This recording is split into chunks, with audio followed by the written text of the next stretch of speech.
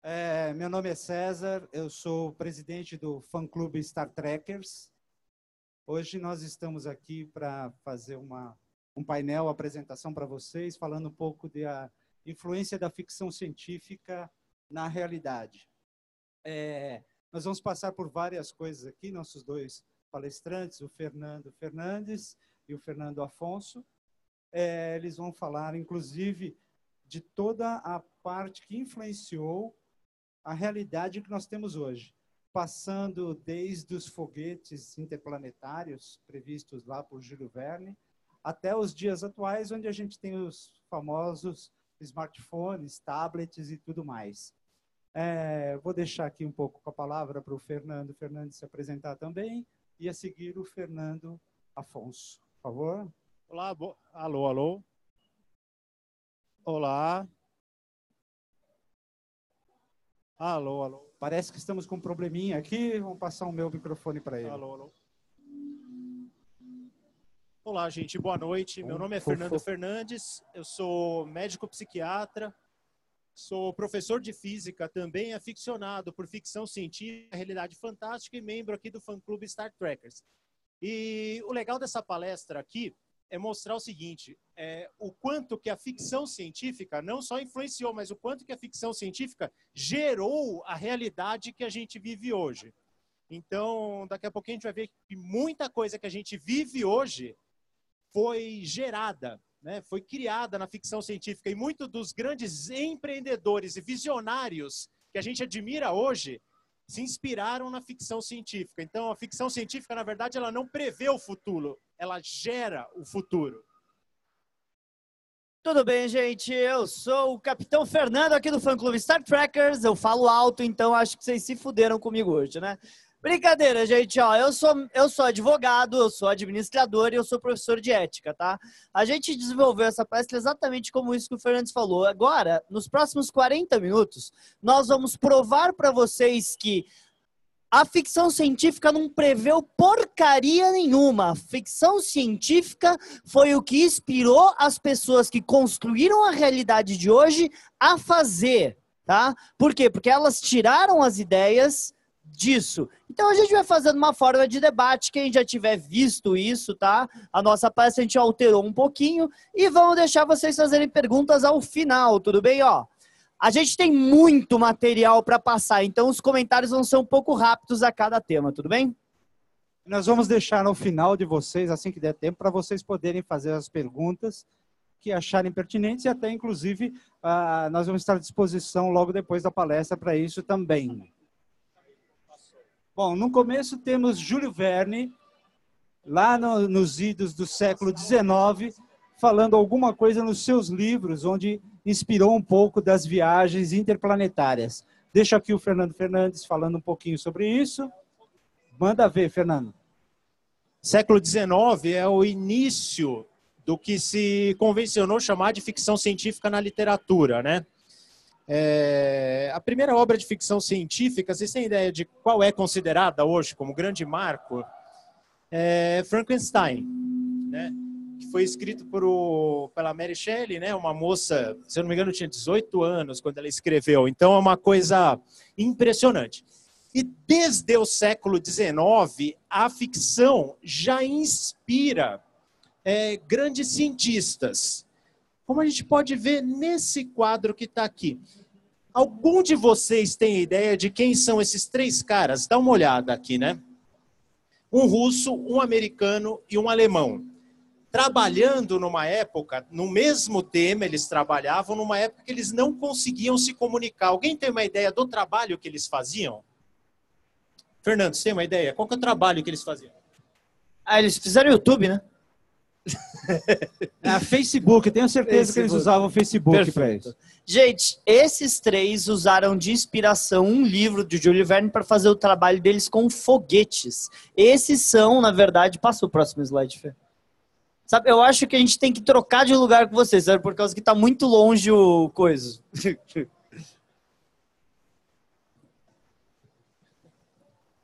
Não, você fica lá.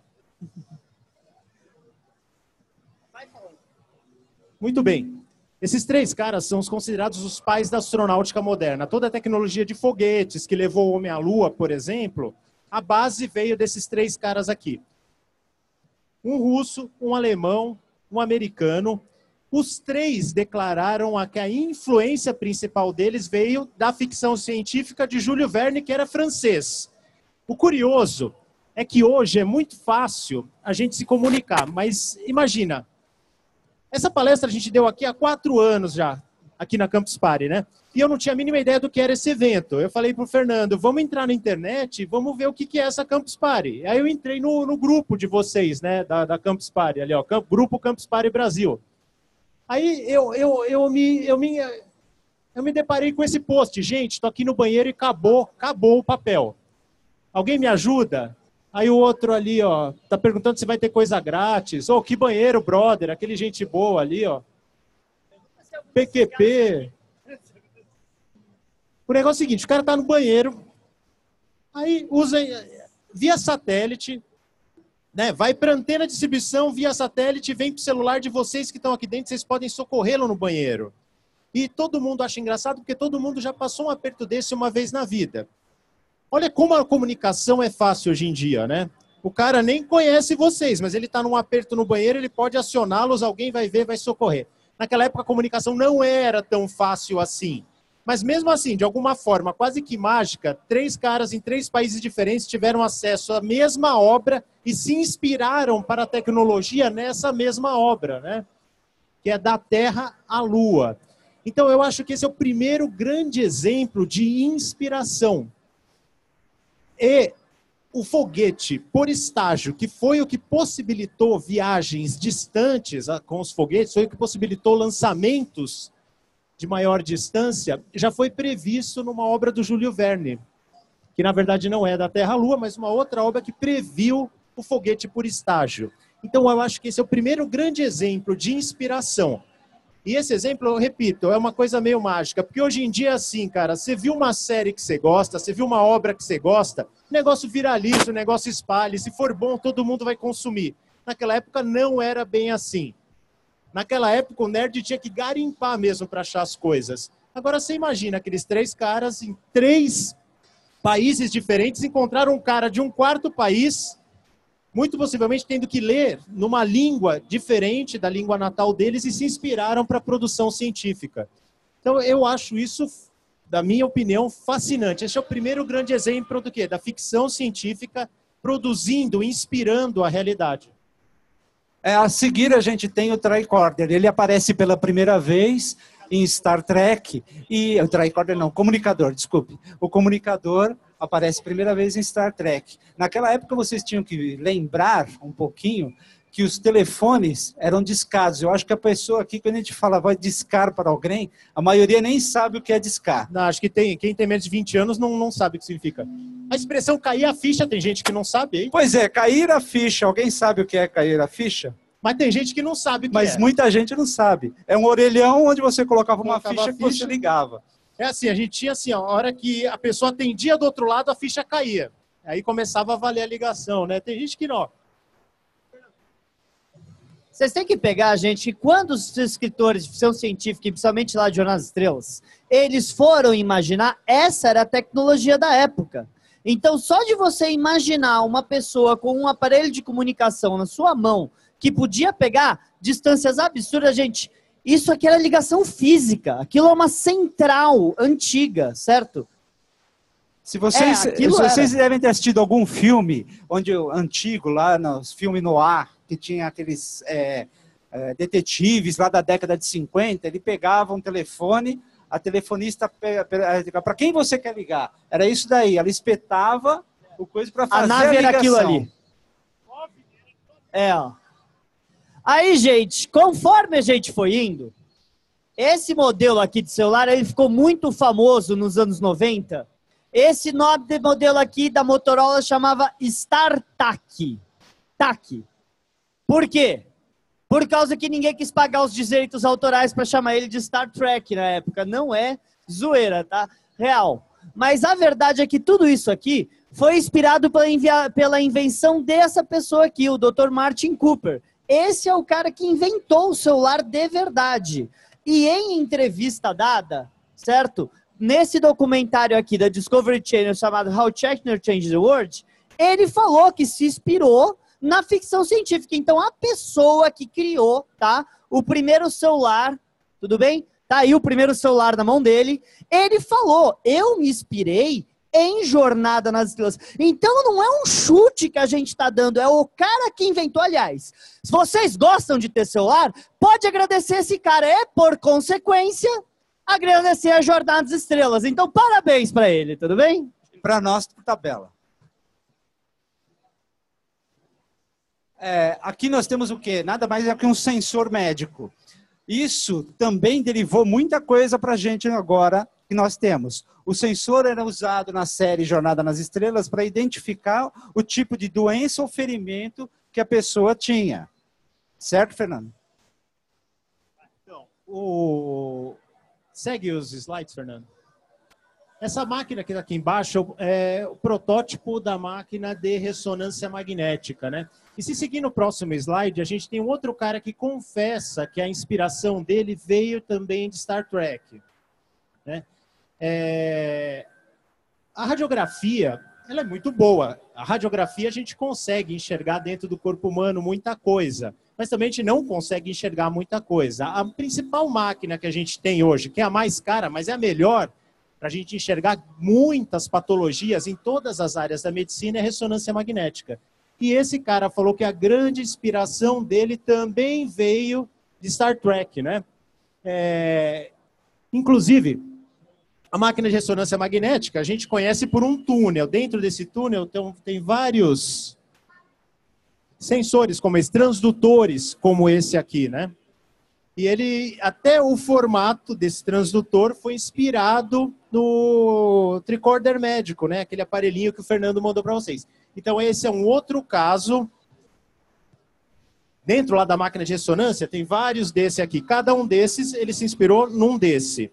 Então, olha só, a gente já falou de duas coisas que a gente usa, duas, uma coisa que pode ter salvado a vida de vocês, ou pode ter ajudado a diagnosticar alguma doença que vocês tenham, que é ressonância, uma coisa que a gente usa todo dia, que é o celular. Ambas foram inspiradas na ficção científica, em especial em Star Trek, né? Fernando adora falar o seguinte: então, se alguém foi salvo na tua família ou você mesmo por um diagnóstico feito as, rapidamente pela ressonância magnética, é, pode agradecer também Star Trek. É, aqui nós temos um outro modelo de tricorder, que é uma evolução exatamente daquilo que ele tinha feito, né? É, um pouco mais evoluído, vai. E ele avança também na, nos diagnósticos médicos. Agora, o curioso é que a Qualcomm, a Qualcomm é uma empresa que alguns de vocês conhecem. Quando lançou o celular no Brasil, tinha celular da Qualcomm, Hoje em dia eu não vejo por aí, mas muita da tecnologia que a gente usa nas marcas de celulares usam é, chips da Qualcomm, tecnologias da Qualcomm. E a Qualcomm lançou uma, um concurso bastante interessante. Pegou algumas doenças importantes em medicina com bastante morbidade. Por exemplo, diabetes. Diabetes é uma doença silenciosa. Muita gente tem diabetes, tem o rim afetado, o coração afetado, a retina afetada e nem sabe que tem diabetes. Quando descobre, muitas vezes já tem sequelas da doença. É uma doença que muitas vezes aparece de maneira silenciosa. Seria muito legal poder detectar essa doença facilmente, anos antes, né, dela causar alguma sequela. Outra doença que parece totalmente inofensiva, mas que no velhinho pode causar um estrago muito grande, infecção urinária. Muitas vezes no velhinho aparece despercebida, né, a infecção urinária. Aí o velhinho muitas vezes tem até começa a delirar, começa a passar mal, fala: "Nossa, o vô tá ficando demente, o vô tadinho, tá fraco da cabeça". Quando vai ver, começou tudo numa infecção urinária, né? E aí, segue em frente, a Qualcomm fez um desafio de quem conseguiria quem conseguiria montar um tricorder médico. Ela estabeleceu algumas metas para o tricorder e ofereceu um prêmio fabuloso. E se eu não me engano, foi em maio do ano passado, veio o vencedor, o grupo vencedor. Num evento que eu acho que vocês iam muito, gostar muito de participar, um evento tal qual esse, um evento de tecnologia, e foi anunciado o vencedor. Então, esse aqui é o tricorder verdadeiro, existe hoje. Então, curioso isso, né? A tecnologia que é usada pelos médicos em Star Trek criou ressonância magnética. E o tricorder médico inspirou um concurso que gerou um tricorder verdadeiro, que é capaz de diagnosticar ou, no mínimo, levantar a suspeita de uma série de doenças. Que eu me lembro, no mínimo, diabetes, infecção urinária e infecção da garganta. Muita criancinha, às vezes, não sabe, bebezinho, não sabe dizer que está com dor, está chorando, é infecção da garganta. Tinha ouvido também, né? Tinha também na identificação do ouvido também. Tá aí, o tricorder hoje é realidade, então. É, aqui nós temos o quê? Os primórdios do tablet. É, aí eu vou deixar o Fernando falar um pouquinho dos primórdios do tablet. É, o que que acontece, gente? Quando o Jornal das Estrelas foi criado, eles imaginaram, gente, papel. Ninguém vai ter papel no futuro. Então, lá em 66, esse era o que o Kirk usava, tá? O Capitão Kirk usava para olhar os relatórios e passar e já mandava diretamente para o computador da nave. É claro que esse treco é gigante para o nosso atual. Esse é o de 66. Quando eles refizeram Jornadas Estrelas para o público atual nos anos 80, eles criaram esse aqui, que eles deram o nome de PAD. Sim, se você olhar um episódio de Jornadas Estrelas de 1987, você vai ver isso aqui, que é o nome, o famoso pede. Eventualmente, a nossa tecnologia criou esse aqui. Aliás, esse aqui é interessante por causa que a gente não conseguiu achar uma foto muito boa dos primórdios dos pads na nossa tecnologia de verdade. Então, esse aqui é uma foto do que tinha, que o Fernandes tinha, porque ele é médico, ele usava esse aqui, certo? Então, foi evoluindo até o ponto, certo? Que a coisa foi ficando mais avançada. Esse cara aqui, certo, foi o que desenvolveu o primeiro Palme, que foi aquilo que a gente viu. Nesse documentário, como o Shatner mudou o mundo, ele fala que ele se inspirou, certo, para desenvolver o Palme dele no de Jornada nas Estrelas. É, é o que eu acabei de falar que era. Esse é o meu, literalmente, o meu que está em casa até hoje, né? É, o Palme, vocês não conhecem essa marca, mas é uma marca fabulosa, gente a utilidade de um palme como esse seria assim, olha, mais ou menos como a utilidade de um smartphone de primeira geração, o Galaxy 1. O Galaxy 1 era muito mais potente que um palme desse. E esse foi, curiosamente, um aparelho de tecnologia que não foram engenheiros, não foram médicos usados, médicos usavam, né? E como eu sou médico, quando eu me formei, eu comprei um desse. Eu me formei em 2003. Sabe quanto eu paguei nesse Palme aí? 850 reais. Eu lembro até hoje de uma promoção. Era caríssimo isso. 2003, 860 reais. Era muito mais, viu? Era quase 800 dólares. Era é. pau a pau com 800 dólares. O preço aí. E o que, que a gente fazia? Lá tinha diagnósticos, resultados de exame, procedimentos médicos, estavam todos armazenados lá. O cara que criou a marca Palme se inspirou no Sim, porque ele fala isso, gente, no documentário. Ele fala, eu me inspirei no Palme que tinha o Capitão Kirk. Aí, conforme os anos foram, o Palme virou, certo? Isso aqui, ó. A gente pode ver essa evolução da tecnologia, tá vendo? Que era os tablets, os pads. Só que a verdade é que esses caras fizeram isso em 2000, só que o Jornal das Estrelas fez nos anos 80, certo? A gente já tinha isso. Vocês estão vendo ali, né? Professor Xavier, né? Né? Professor Xavier, né, seus viados? Né? certo? Mas a gente já. Certo? Mas vocês estão vendo aquela foto ali é de 89. E vocês podem ver que é a mesma coisa que está na mão dele, certo? Tanto que o nome, quando o Steve Jobs foi fazer, ele deu o nome de iPad. Mas já chamavam isso aqui de pad em jornais estrelas nos anos 80. É, é uma curiosidade. O nome pad vem de Star Trek na década de 80, né? O iPad foi uma cópia até do nome, no caso. É, aqui nós temos um, um holograma. Isso aqui vocês esquecem, aqui está errado. Aqui apareceu por engano. É, na realidade, nós temos aqui os hologramas que também foram mais ou menos é, já previstos ou imaginados lá nos idos do século XIX. Nós temos aí alguma coisa também de Jules, de Jules Verne, é que é Jules Verne, né?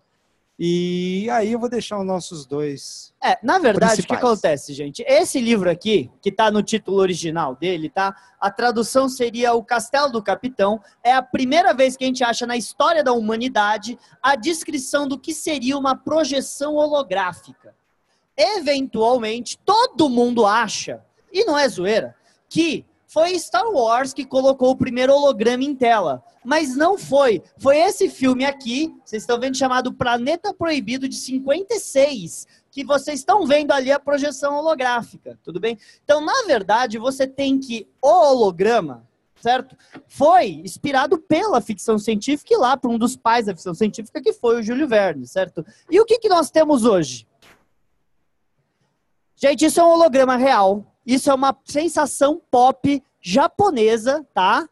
Ela vai, ela dá show, isso enche de gente e é um holograma de um anime. Isso é o que nós temos hoje. Então, quer dizer, a ideia do holograma veio da ficção científica. E aí a gente tem isso mexendo no mundo de hoje. Inclusive, nesse no final do ano passado, nas eleições francesas, um candidato francês, ele fez três comícios ao vivo em três lugares diferentes, usando um holograma.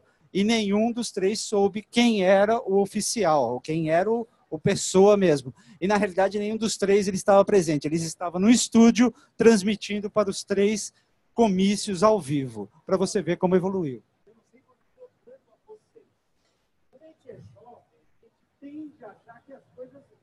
Eu vejo alguns jovens achando assim que o mundo começou nos anos 2000, né? Mas eu, particularmente, eu fico fascinado quando eu vejo a origem daquelas coisas que eu curto hoje. Porra, no século XIX, que a gente pensando nisso, né? No século XIX não tinha TV, né? Luz elétrica tinha, né? E os caras pensando nisso. Eu, particularmente, fico fascinado e isso estimula a gente a pesquisar mais um pouco a história das coisas que a gente curte hoje, né? Essa ideia que você falando. E aqui nós temos uma coisa que muita gente nem sabe o que é. Isso é o famoso disquete. Tudo começou com um disquete maior, que era grandão, com a enormidade de 500K. 500K, não é mega, 500K. Depois passou para 3 mega. Não, esse aqui acho que tinha 1,4, esse aqui acho que tinha 800K, um negócio assim. E tudo isso veio de onde? Vocês terem uma ideia como era nos primórdios, quando eu montei meus primeiros PCs, que eu era técnico, gente ia instalar o Windows isso aqui, ó. Sabe quantos deram desses para instalar o Windows? Era O 15 Nossa, era era, o 10 Windows disquete. 3.1. O 3.1 tinha, tinha 18. 3.1. 3.0 tinha 15, 13, um negócio assim. E você perdia um, acabou, hein? A questão, gente, é que os primórdios da tecnologia foi o que inspirou isso aqui que está na minha mão, gente. Isso aqui que está na minha mão, o pendrive, foi eles diminuindo o disquete, o disquete, o disquete, até virar isso aqui. Até a gente poder carregar um banco de dados inimaginável para a época que foi criado. Gente, isso aqui tem o quê? Esse aqui é de 16 GB. 16 GB. O meu primeiro PC, em 91, não tinha nem perto de 500 mega. E eu tenho 16 GB no meu bolso. Então a tecnologia foi evoluindo para criar o que nós temos hoje. para vocês terem uma ideia, quando eu comecei a trabalhar, porque eu sou analista de sistemas há 29 anos, não parece, eu sou novo pra caramba. Quando eu comecei a trabalhar na empresa que eu trabalhei, ela é uma empresa federal, ela tinha a enormidade de depósito, era um, um salão gigantesco lá que tinha 4 mega de armazenamento. 4 mega, era o top do top. Isso foi em 1989. E essas fotos aqui são da década de 60, vocês repararam? Não são fotos aqui da década de 80. São fotos da série Star Trek mesmo, aqui. Aqui eu Spock usando os disquetes do computador da nave aqui. Muito bem, gente. Agora eu vou passar para o próximo slide aqui. Isso aqui é o Android, tudo bem? Não o sistema operacional, tá? O Android, tá? Eu coloquei ali no grego, mas pelo visto deu uma sumidinha, foi mal, erro meu, tá bom, gente? A verdade é que a ideia de Android veio na Grécia, que seria o quê?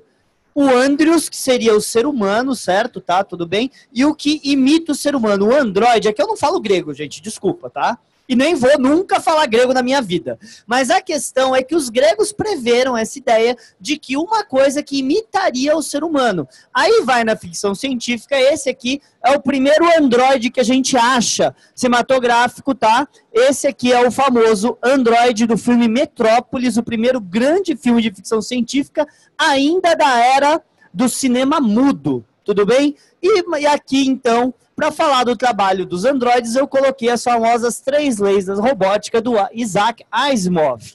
Por quê? Por causa que nós estamos cada vez mais perto de fazer androides fantásticos. Olha um exemplo de um androide que nós temos hoje. Isso é um androide de hoje, gente. Isso é um androide. Vocês aqui vê gente que está construindo robô. Olha aonde foi essas ideias. E a gente viu essas coisas se acontecendo na ficção científica muito antes da gente poder trazer para a realidade. Bom, e aqui nós temos uma coisa bem legal que aqui dá, dá para ver aqui no, no nosso amigo Fernando, que fala nada mais é do que um fone de ouvido que comunica-se uma coisa muito normal hoje em dia, né, Fernando? Isso é muito legal, né? Comunicação por Bluetooth, por exemplo, ou qualquer outra sem fio, né? Lá em Star Trek já, já existia. Tá aqui, ó. Aqui é a Tenente Uhura, da série clássica, para quem viu os filmes recentes, né, que eles reviveram lá a tripulação da série clássica, ela aparece também. E o negócio é tão legal que o design do aparelho auricular dela, com, a, com o qual ela se comunicava, é tão moderno que no reboot que fizeram, colocaram o mesmo design nos anos 2000. Então, isso aqui é um negócio legal pra caramba. Então, essa tecnologia que hoje a gente pode desfrutar também teve inspiração lá na série clássica. É, numa época, que nem o Fernando falou, numa época aqui, ó, aquela, aquele OVNI que vocês chamam, né? Cadê? Ali onde, aquele OVNI lá era um monte de senhoras trocando os cabos. Numa época como aquela, imaginaram aqui uma comunicação sem fio. Muito interessante isso aí também. É, gente, não é que existia fone de ouvido na época. É que você tinha um treco gigantesco na sua mão, tá? Mas muito bem, vamos para o próximo, gente. Essa aqui é a famosa arma de Jornada nas Estrelas. Isso é um phaser, é um rifle phaser, aqui deste lado. Mas a arma efetivamente era essa. Essa foi projetada, ela dispara um raio laser, e eles não usaram o nome laser, porque ele disparava uma coisa um pouco diferente, então colocaram o nome de phaser. É, na verdade, é, na verdade, o que, que acontece, gente? Quando foi fazer o Jonas Clans, o Jonas Clans é uma série que tem uma ideia de não agressão. Tirando as séries de hoje, originalmente tinha uma ideia de não agressão, certo? E eles precisavam de alguma coisa que desse a emoção do bang bang, mas não que ferisse a pessoa. Então eles criaram a ideia dessa arma aqui que foi chamada de phaser. Nos anos 2000 e alguma coisinha que a memória me falha, o exército americano desenvolveu esse rifle aqui. É um rifle que atira um tipo de choque elétrico, tá? Que te desmaia sem ferir. Ele dá um choque no seu sistema à distância. Você não é um taser, tá, gente? Que te desmaia. Isso aqui não tem fiozinho. E aí o soldado americano, em teoria, conseguiria te desmaiar sem te machucar. E eles deram o nome disso aqui de rifle phaser. Esse é o nome oficial desse treco. Aí você fala, mas por que, que eu nunca vi um soldado com isso? Porque essa porra aí é milionária e você acha que é mais fácil dar para o quê? Um soldado? Um desse ou uma metralhadora? Sem contar a energia que ele consome. Na realidade, ele dava, acho que um ou dois tiros e acabou. Imagina isso numa guerra, o cara dá um tiro, erra, A questão é que a tecnologia foi cancelada para a realidade e eles usaram de novo o mesmo nome que tinha em Jornada nas Estrelas. Gente, agora a gente vai mudar um pouquinho a parte, vamos sair da tecnologia, por causa que Jonas Silas não queria só falar de tecnologia, ele também queria mudar o mundo de outra maneira. Essa foto aí, hoje em dia não geraria impacto nenhum, mas na década de 60 é, gerou. E foi muito interessante, né? Porque a gente vê, por exemplo, olha, é, um americano, um oriental e um russo na mesma foto convivendo bem, né? Essa é uma descendente. Uma mulher negra né, numa posição de comando numa nave estrelar. Então, isso aqui, hoje, passaria batido, passaria absolutamente tranquilo. naquela época a gente estava, por exemplo, para falar dos russos, a gente estava poucos anos da crise dos mísseis em Cuba, que foi o que chegou mais perto de um holocausto nuclear. Aqui, gente, ó. vocês têm que entender que a realidade mundial, quando o Jonas foi criado em 64, era isso aqui. Era disputas de nação. Tá? As pessoas tentando se matar de verdade. Se você era de outro país, não tinha esse negócio de aceitação social, você era o inimigo. Jornada das Estrelas pegou isso aqui e fez isso. Tá? Repente, então, olha, as pessoas que cresceram vendo Estrelas como eu, elas não se chocam vendo coisas como isso, porque nós crescemos tendo essa ideia de que nós temos que somos, somos iguais. Não existe essa diferenciação étnica e racial. É, em especial com relação aos russos, o negócio foi muito tenso, porque poucos anos antes houve a crise dos mísseis. Para quem não sabe, né, a União Soviética estava deslocando o míssil nuclear para Cuba e dali poderia atingir toda a costa leste dos Estados Unidos. Era louco, na década de 80, o que o pessoal na Flórida tinha todos tinham um bunker no fundo do quintal, construíam um bunker filmes que faziam sucesso. Você lembra? The Day After, Apocalipse. Ah, não, sim. O a, gente do... tava, a gente ficava já imaginando como Eles estavam em plena guerra do Strange Love, né? Famoso filme do Peter Sellers, né? É basicamente sobre uma guerra nuclear. E todo mundo apostava que iríamos ter uma guerra nuclear. Aí vai. Quando a ficção científica, com filmes como Exterminador do Futuro, chegaram e preveram um futuro apocalíptico, as pessoas, nós aqui, vocês, começaram a pensar, mas espera aí, realmente temos que apoiar a construção de armas nucleares e você pode ver uma guinada na história a partir dos anos 70. Agora, com relação ao oriental, o que, que tem de diferente um oriental na nave, né? Tem é diferente uma coisa que é bem interessante. Primeiro, a posição que ele tinha na nave, que era de piloto. Aí você pergunta, tá bom, o que, que tem um oriental de piloto, Fernando? Põe aí. É, gente, o que que acontece, gente? Aqui, aqui no Brasil não, mas lá nos Estados Unidos, mesmo gente que a gente faz a piadinha que português é burro, eles falam que nipônico não sabe dirigir. É sério, é a piadinha que tem nos Estados Unidos. Se você é nipônico, você não sabe dirigir. É piadinha babaca, é piadinha babaca. Então, sabe o que, que o criador da série de fez, Gene Roddenberry? Colocou um oriental como o melhor piloto da galáxia, para parar com piada babaca. Mas não era só isso, não, né? Porque se for pro próximo, é, inclusive, tem que se lembrar exatamente o que está nesse slide. Né? A Segunda Guerra Mundial ela tinha acabado há pouco mais de 20 anos. Ela estava ainda muito presente na história americana. E a Guerra da, da, guerra da, da Coreia. Coreia né? A Guerra da Coreia. A guerra que acabou determinando essa fronteira aqui entre Coreia do Sul e Coreia do Norte tinha acontecido também é, muito recente. Aliás, o próprio ator, George Takei, que é aquele nipônico que vocês viram, um dos maiores ativistas pelos direitos nipônicos no mundo, ele cresceu num campo de concentração americano, tá? Por quê? Por causa que na época da Segunda Guerra, os orientais foram separados da população americana por medo de espionagem. Que eles são muito bons para falar, né? Os americanos adoram falar dos campos de concentração nazistas, mas eles não falam que eles fizeram a mesma coisa nos Estados Unidos, né? E para quem não sabe, no Brasil também teve. Quando é, o Brasil é entrou é na coisa... guerra, também teve campo de concentração. Essa é uma aqui. coisa que passa batido na história do Brasil. É, porque a história é foi... é sempre dos vencedores, né? Foi na, na Serra aqui, foi em São Paulo na Serra teve campo, não era um campo nazista, mas era um gueto onde os orientais. Mas ficavam, não né? desviando né? muito, né? Voltando ao nosso coisa. Pra... É, vamos lá que ainda aí. temos mais coisa para falar, gente. Vamos falar do que todo mundo quer que a gente fale, a grande, a famosa Tenente Uhura, né? A Tenente Uhura, ela estava numa ponte numa época que os negros americanos brigavam pelos direitos de igualdade.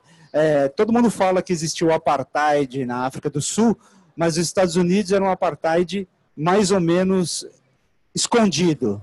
Vai, Fernando. Alguém. Volta um aí, Fernando. Volta um. Ah, vai um para frente. Só para não ter spoiler. Alguém sabe quem é essa mulher aqui? Eu já dei o spoiler. Já, já dei, já deu. Rosa já Parks, né? Clica lá. É, essa, o caso dessa mulher ficou famoso porque os ônibus nos Estados Unidos eram separados. Metade era para branco, metade era para negro, e ne, negro não sentava no lugar de branco e vice-versa, né?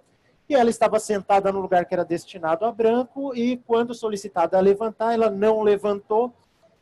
foi presa e gerou esse caso que ficou famoso nos Estados Unidos, o caso Rosa Parks. Aqui é uma foto dela com Martin Luther King, né?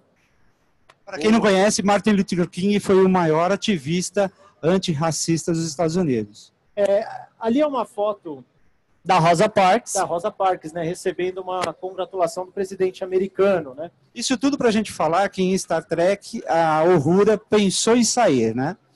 É, na verdade, o que que acontece, gente? Ela sentia que o personagem dela não estava sendo muito bem aproveitado. Até um dia que o Martin Luther King, querendo visitar Jornadas das Estrelas, foi conversar com ela. Que ele queria conhecer ela, certo? E aí, ela confidenciou ele que ela ia deixar a série ao final da primeira temporada. E ele falou não. Ele interferiu e falou: esse é o único programa de TV que eu deixo os meus filhos assistirem.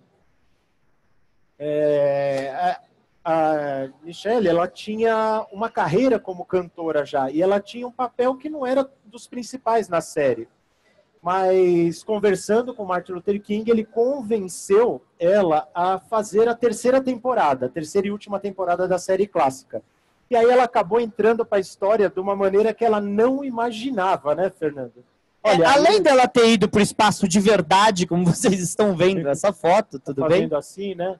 Esse aqui é o que é o interessante. Ela protagonizou em um dos episódios da terceira temporada o primeiro beijo interracial, não do cinema, mas da TV americana. É, e ela É, isso tá no Guinness, história. viu, gente? Pode procurar, isso tá no Guinness.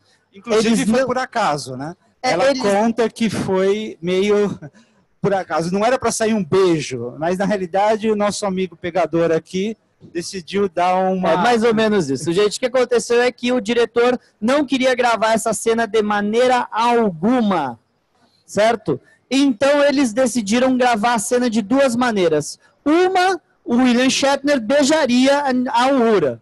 No outro, ele não beijaria. E aí, então, o ator, William Shatner, aquele que está beijando ela nessa foto, tá? Sabendo que os caras não iam levar ao ar a, a, a cena que foi o beijo, ele fez o que? Ele estragou os takes da cena que ele não beijava. Quando não estava olhando, ele mostrava a língua para a câmera, ele assoprava para a câmera, ele cruzava os olhos, para eles só terem takes dele beijando ela. E dessa maneira, o Jornal das Estrelas entrou para a história.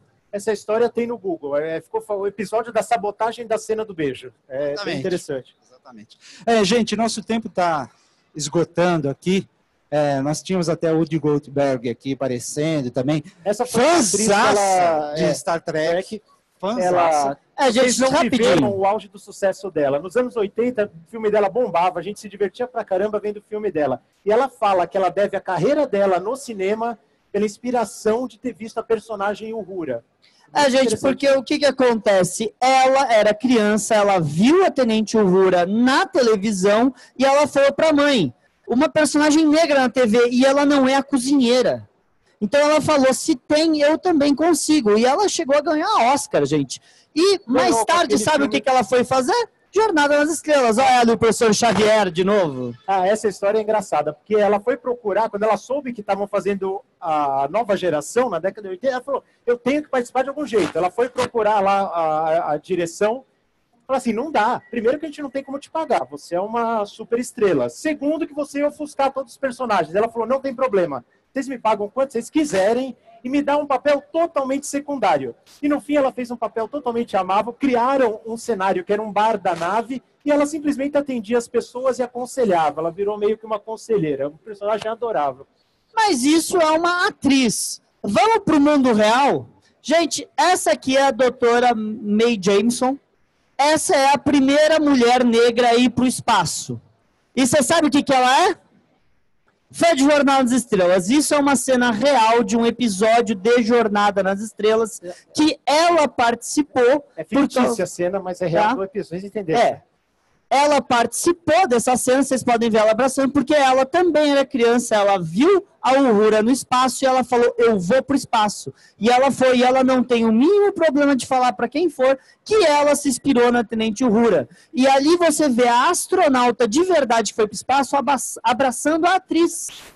E quando ela fez essa cena, eles não conseguiam gravar porque ela não conseguia parar de chorar de ver a Nichelle Nichols do lado dela. Bom, como vocês podem ver, a ficção científica inspira a realidade não só em termos tecnológicos, como também em termos, termos sociais. sociais né? Isso é o que nós buscamos no nosso fã-clube, onde a gente faz doações de sangue duas vezes ao ano, é, arrecada fundos para. César, tem tudo isso depois. E, ah, um vamos lá, gente. Ah, isso aqui, ó, muita gente vem para a gente perguntar. Star Wars é melhor que Star Trek, Star Trek é melhor que Star Wars, Battlestar Galactica é melhor. Para de ser criança!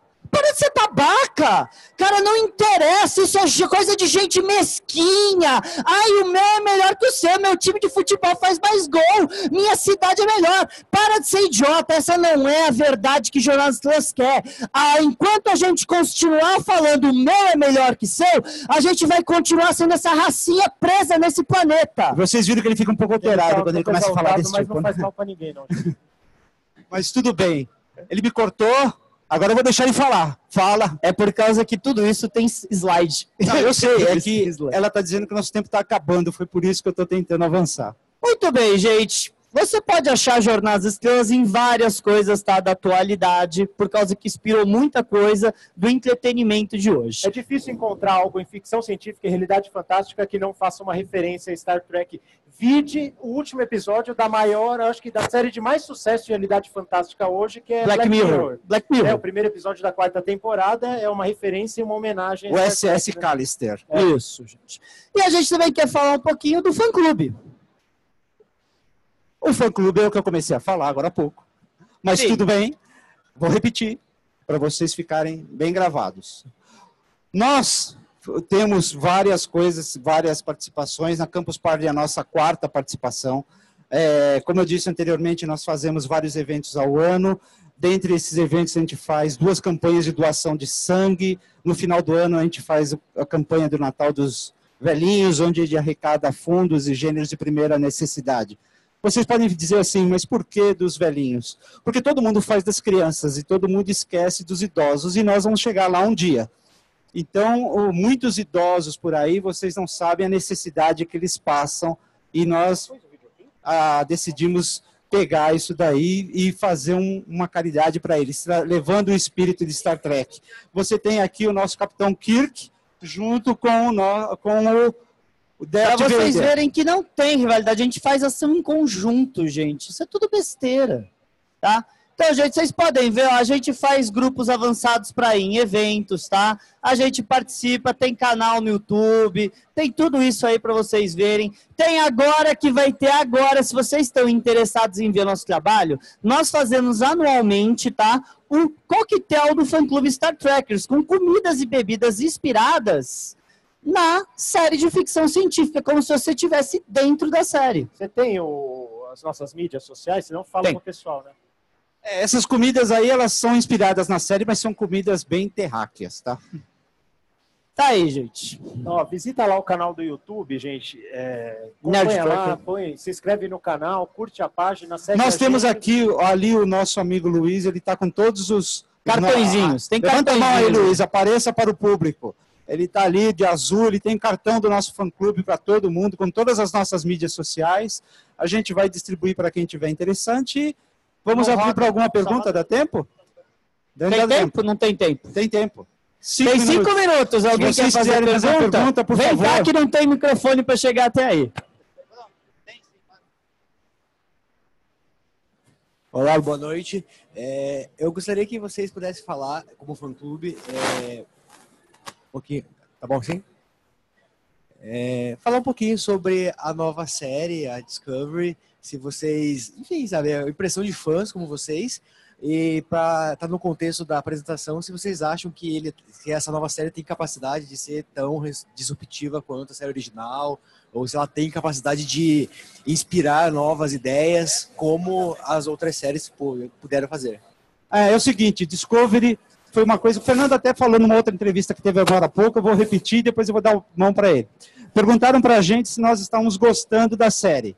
É, eu disse que eu gostei de algumas coisas, não gostei de outras coisas. Aí ele falou que eu fiquei em cima do muro. E eu fiquei mesmo. Porque é o seguinte, a série ela está gerando é, no meio do, do clube, do, dos apaixonados na série e tal, reações é, discussões acaloradas a favor e contra. Eu acredito que Star Trek precisa da televisão. O filme, normalmente, ele tem uma coisa muito rápida. A série foi bem falada pelo Fernando, depois eu vou dizer, deixar ele falar. Você pode contar uma história de um jeito mais, mais é, completo, em vários episódios. É, em relação a Discovery, particularmente, eu acho que ela está resgatando muito da série com uma repaginação do, do que é mais atual. Olha, a série tem seus méritos. Mas fazer o que a série clássica, o que a nova geração fizeram em termos de evolução social, em termos de tecnologia, ela ainda não entrou nessa água. Parece que ela está tentando conquistar um público mais jovem no momento. Vamos ver se no futuro ela vai conseguir fazer isso. Mas por enquanto, a gente não está vendo nenhuma super evolução. Porque você fala, ai, mas Fernando, pelo amor de Deus, tem uma mulher negra que é a principal atriz da série. É, em 92 tinha um negro que era o principal ator de uma série nas estrelas. Em 95 tinha uma mulher que era o principal atriz nas estrelas. Pra gente de Jornada nas Estrelas, isso não, não é, é novidade. novidade. Isso não é novidade. Eu não vou falar, nossa, é a primeira série que tem um afro. Não é. Não é, desculpa, gente. Ai, lindo, Star Wars acabou de colocar uma mulher e um negro como protagonista. Já fez isso nos anos 90, gente. É, é, é, esse avanço social que as pessoas querem falar que a série deu, ela não deu. A gente já está fazendo isso desde os anos 60. Agora, uma coisa que fãs como a gente se preocupa é de manter a, a, a franquia de Star Trek viva.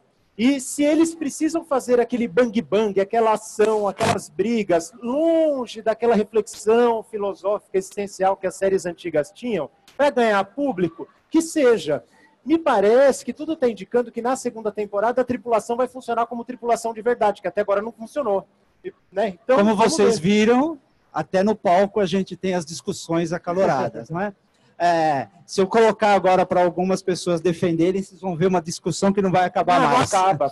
Mas vamos para uma nova pergunta ali, por favor.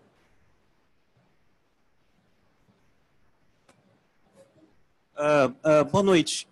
Eu recebi na mídia social aí falando que o Tarantino vai ser um novo diretor do próximo filme. Sim. O que vocês esperam de um filme? Estão falando que vai ser filme agora para maiores. É, eu vou deixar o Fernando falar. Olha, tendo visto todos os filmes do Tarantino, eu espero o pé da Uma Thurman, né? Que dentro do filme dele tem o pé dela em algum momento, tá? Gente, o Tarantino, ele faz um, um, um estilo específico de filme. Vai encaixar com Jonas Estrelas? Não sei. Quero ver? Quero ver. Eu sou curioso para ver.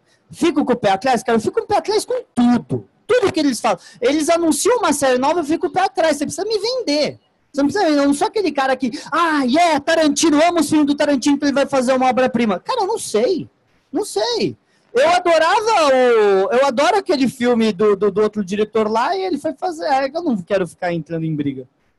É, na realidade, o Tarantino vai fazer a série, porque o Tarantino, em agosto do ano passado, ele deu uma entrevista para o Hollywood Reporter, né, um site, que ele mostrou que entende tudo de Star Trek.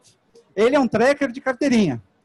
E aí o J.J. Abrams, famoso, convidou ele para fazer a, a, direção do novo filme.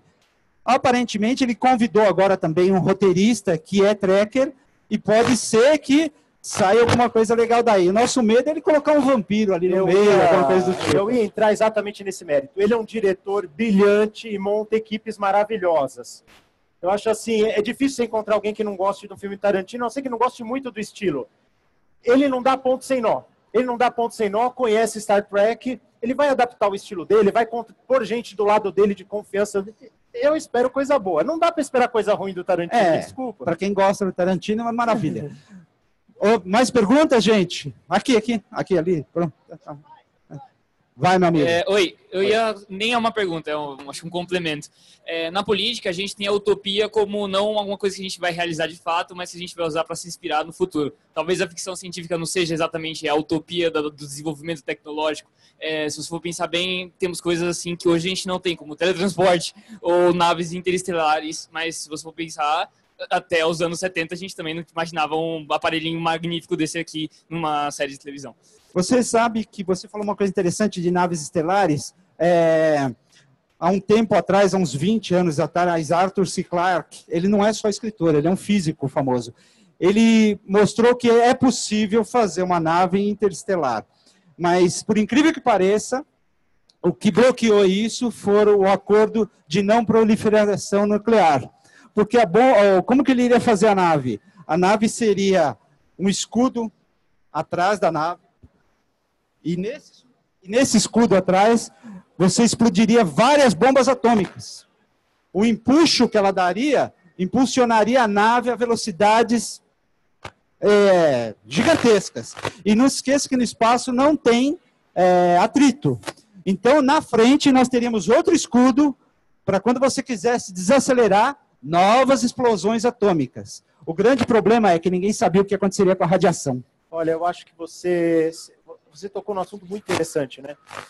É, porque você falou de utopia, utopia do futuro. E vendo a série Star Trek, eu acho que isso se encaixa perfeitamente, porque além do avanço tecnológico, houve um avanço social em paralelo muito interessante. E a ficção científica pode ir para um outro lado, pode ir para a distopia total. Então, eu acho que se você quiser imaginar um, um futuro otimista para a humanidade, uma humanidade unida, sem barreiras, sem preconceito, explorando o espaço. A gente tem Star Trek. Olha, Se existe. Imaginar o contrário, tem um monte de mundo distópico na ficção. A ficção está aí para todos os gostos, né? para todas as imaginações possíveis. É. Eu acho. Assim, gente, existe uma famosa, uma, um personagem do passado vai para Enterprise e pergunta como isso aqui aconteceu. E eles falam do mesmo jeito que tudo acontece. Um pequeno grupo de pessoas começou a acreditar que a gente podia mudar. E é assim que acontece qualquer coisa. Se um pequeno grupo de pessoas começar a influenciar outros, começar a influenciar outros, a gente fala: não, sim, o ser humano não é tão nojento se ele for se ele acreditar no futuro, e se nós nos unirmos como povo, a gente consegue e vai chegar lá. Só que enquanto a gente tiver esses exemplos terríveis que a gente tem hoje, como, sei lá, programa número um de audiência é o Big Brother, a gente não vai chegar em lugar de porra nenhuma. Okay, this is my first campus party. I don't understand any Portuguese, but I love what you're doing here. And I want to say I love Star Trek also because it means that hope and positivity and diversity ultimately wins. And I believe that's the that's message the we all need greatest thing hear. about Star Trek. Star Yes. Trek is a universal language. Yeah. Anyone, anywhere in the planet, you can make this gesture, and the people know that we are united in Star Trek. We don't know. We believe in a better future for mankind. Ele basicamente falou, gente, que ele não entendeu nada do que a gente falou, mas ele gosta da Jornada das Estrelas.